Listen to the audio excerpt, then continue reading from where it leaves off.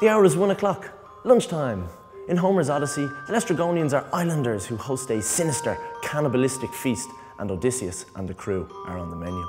In Ulysses, Bloom is swallowed whole by the city of Dublin.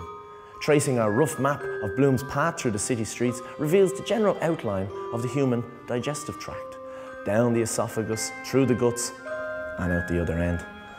It is though Bloom is being processed through the body of the city, repulsed by the patrons' eating habits in the Burton Hotel, no more refined than the gulls over the Liffey, he retreats to the haven of Davy Byrne's Moral Pub, which still does a roaring trade to this day.